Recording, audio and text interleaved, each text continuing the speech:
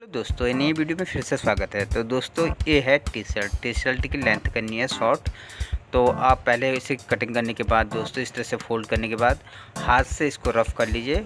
यानी कि मोटे मोटे टाँके लगा लीजिए चारों तरफ़ से। क्योंकि टाँके लगाएँगे तो आपकी जो टी शर्ट है इधर उधर नहीं भागेगी। बिल्कुल हजरी की जैसी सिलाई इसमें आने वाली है। देख लीजिए दोस्तों एंड तक वीडियो ज़रूर देख ताकि आपको अच्छी से समझ में आ जाए वीडियो। तो ये देख लीजिए, ये सिलाई लगाना शुरू कर देंगे हम। इस तरह से सिलाई लगाएँगे, ये देख लीजिए। पहले किनारे की सिलाई लगाएँगे, बिल्कुल किनारे की सिलाई लगाएँगे, फिर उसके बाद डबल सिलाई करेंगे। जैसे हौजरी में हौजरी में मशीन करती है, हौजरी की मशीन करती है, वैसे सिलाई करेंगे।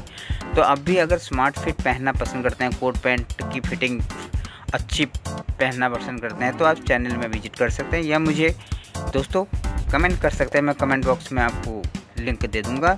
तो आप कोट पैंट की फिटिंग हो, चाहे शोल्डर टाइट हो, चाहे बैक टाइट हो, या स्लिप टाइट हो, या स्लिप ओपन करनी हो तो जैसे दोस्तों शर्ट शर्ट की फ़िटिंग करनी हो, या फिर शर्ट की स्लिप शॉर्ट करनी है तो या स्लिप टाइट करनी है तो आप वीडियो चैनल में जाकर ज़रूर देखें। तो इस तरह से इसमें सिलाई लगा लें दोस्तों।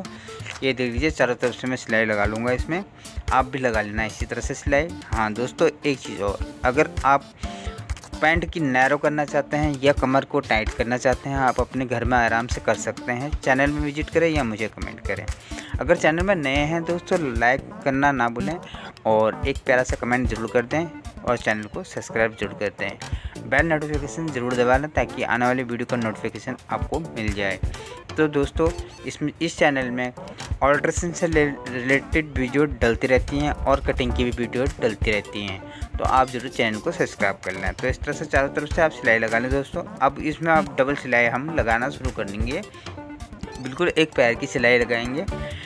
जो पहले सिलाई लगा रखी है, उसके अनुसार ही एक पैर की सिलाई करेंगे। ये देख लीजिए, ये देखिए।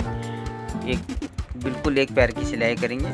तो एक पैर की सिलाई करेंगे तो हमारे परफेक्टली हमारी हौज की जैसी सिलाई इसमें आने वाली है।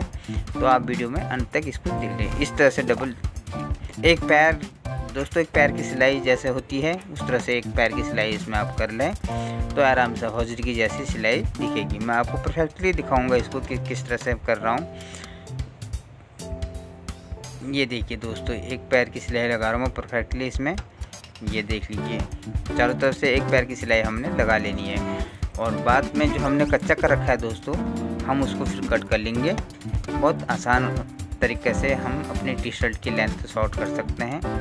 हौजरी वाला कपड़ा जो भी है, इसको हम आराम से कर सकते हैं, रब करने के बाद। तो इस तरह से इसको आप आराम से घर में कर सकते हैं। अब मैं ये देख लीजिए, जो मैंने रब किया था दोस्तों, हाथ से पहले मोटे मोटे टाँके लगाए थे वो मैं खोल, कट कर कट कर दूँगा यहाँ से।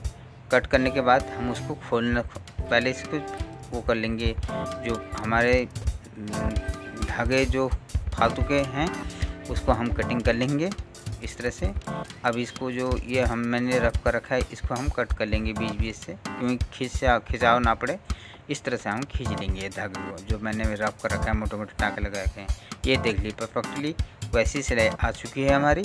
तो आप घर में आराम से अपनी टी शर्ट की लेंथ शॉर्ट कर सकते हैं। अगर वीडियो अच्छी लगी, प्यारा सा लाइक कर दें।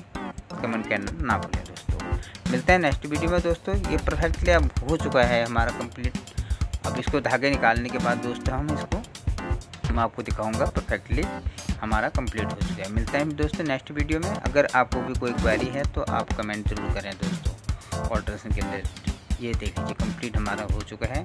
ये देख लीजिए वैसी सिलाई परफेक्टली लग चुकी है ये देखिए डबल सिलाई